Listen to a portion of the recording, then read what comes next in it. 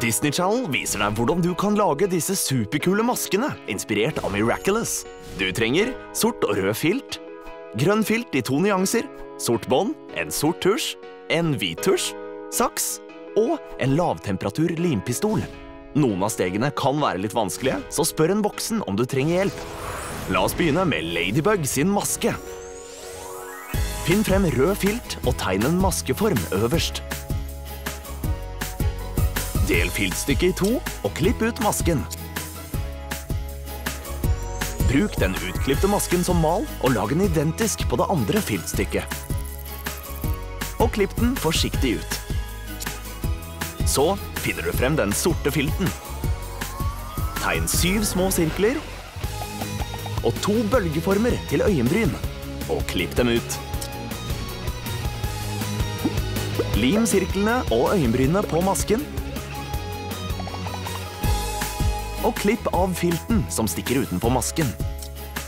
Bruk så lavtemperatur limpistolen og lim to biter med sort bånd på begge sider av den andre masken.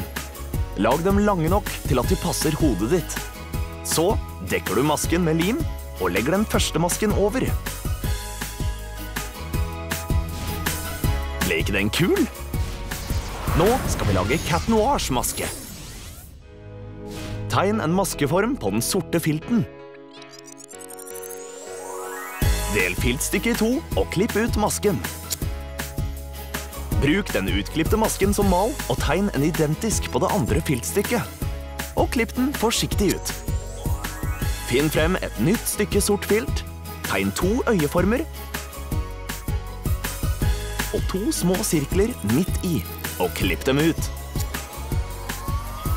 Så finner du frem de grønne filtstykkene og klipper ut to identiske øyeformer. Tegn ovaler på de sorte øyeformene med den hvite tusjen, og sirkler med den sorte på de lysegrønne filtstykkene. Klipp dem forsiktig ut.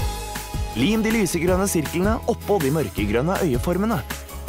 Og de sorte på toppen for å lage ferdig katteøynene. Finn frem de sorte maskene og lim bånd på hver side av den ene masken. Husk å lage båndene lange nok så de passer hodet ditt. Så dekker du masken med lim og legger den andre over. Til slutt limer du de to katteøynene på toppen av masken. Og det var det. Klar til å overvinne Hawkmoth? Nå kan du kle deg ut som Ladybug eller Cat Noir med superkule masker inspirert av Miraculous. For flere kule videoer som denne, sjekk ut YouTube-kanalen vår og Disney Channel-appen.